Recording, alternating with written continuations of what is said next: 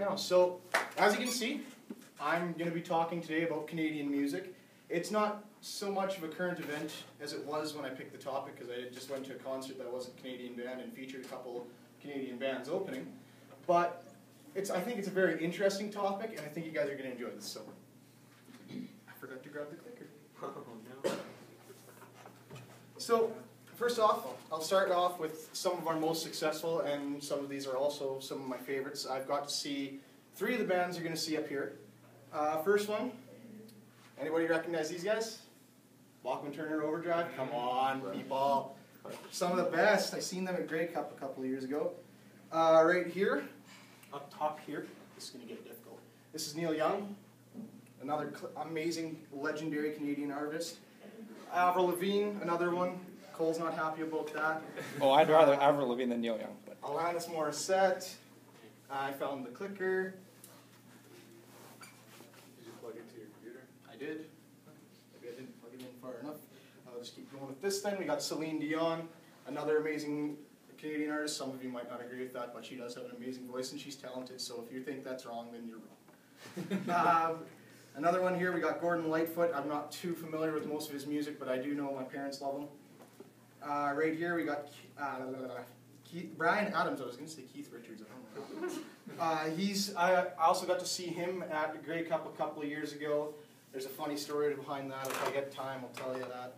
Uh, one of my favorites here is Sam Roberts Band, and they got a song I'll play for you. It's not going through. That's okay. Uh, I'll skip that then. Uh, one, they're one of my favorites. They're an alternative rock band. They've come out early 2000s. Got to see them at the same time I seen him. Uh, another one, Our Lady Peace. I'm not sure who don't know them. They're one of my absolute favorites. The song Innocent, it makes me think about it every single time I hear it. Uh, this one's a personal favorite of mine. This they made huge headlines last or two or sorry in 2011 when they made the cover of Rolling Stone as the first unsigned uh, uh, band to make the cover of Rolling Stone. Saskatchewan's own Sheepdogs, and raised in Saskatchewan. Uh, so those are some of my personal favorites and some very legendary Canadian artists. Um, um, there's Drake too. I won't.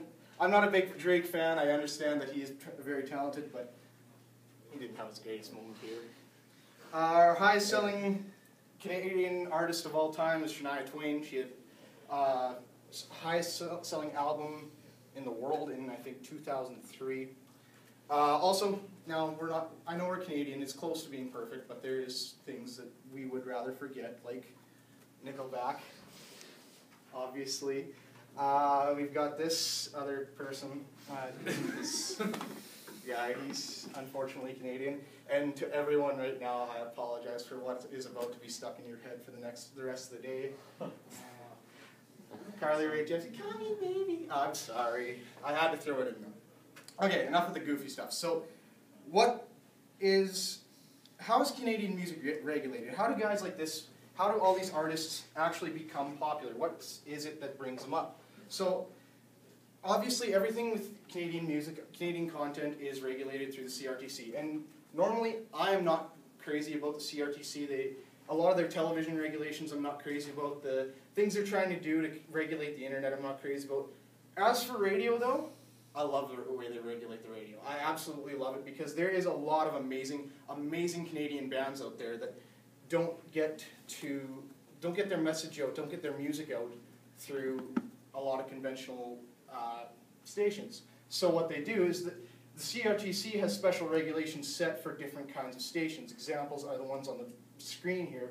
The 35% of all music played on popular radio stations has to be for uh, is reserved for Canadian content. It's usually reserved within a week. So 35% of the music within a week has to be Canadian content. 50% for anything owned by the CBC. Uh, as for all of these specialty stations, these are this was really interesting because I went on the CRTC website and I found out I was looking at all the kinds of regulations they have set, all the weird different ways they regulate this, and I found out that certain specialty stations don't have anything near close to this. Like your big rock stations, your big pop stations, those ones, those will have your uh, thirty-five percent, and that I'm not sure about country stations. They were never really mentioned specifically, but anything like your jazz or your blues or anything like that, they're only a ten percent regulation right there. Only ten percent of the music you hear on a jazz station or on a blues station will be Canadian content. I found that kind of interesting, but it was it was kind of cool because the CRTC, the way they work is, they're, what they're trying to do is they want to make sure that everyone can hear the amazing content that is coming from Canada. Because I truly believe that Canadians produce some of the most amazing music in the world. We do. You, the problem is, is we don't always get to hear it. But because of the CRTC, we do. The CRTC does an amazing job with their radio. I love the way they work their radio. Uh, because of the CRTC, we get to hear a lot of amazing content uh, coming up. Uh, examples are USS. They have probably the coolest name for a band ever. It's Ubiquitous Synergy Seeker. I don't know what it means, but it sounds amazing. Uh, I got to see these guys, uh, the Poor Young Things, a couple weeks ago, and Northcote with Cole, uh, and the Glorious Sons were there too. Coleman Hell's got a really popular song right now called Two Heads. I'm not sure if you guys have heard that one. Uh, but it all kind of wraps up into this one thing here at the end. What identifies us? What is Canadian music? What identifies can, as Canadian song?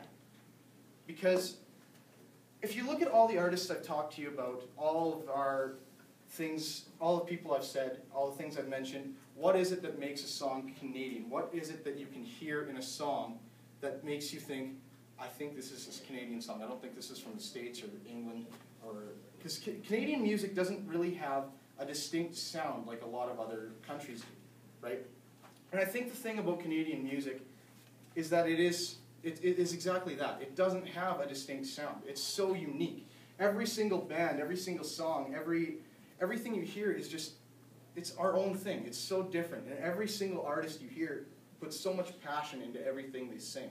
And that's what I love about Canadian content. That's what I love about it. It's it starts kind of slow, but it, it's so much, there's so much passion into every lyric and every song and every strum of the guitar you hear. That's why I love Canadian music. That's all I got.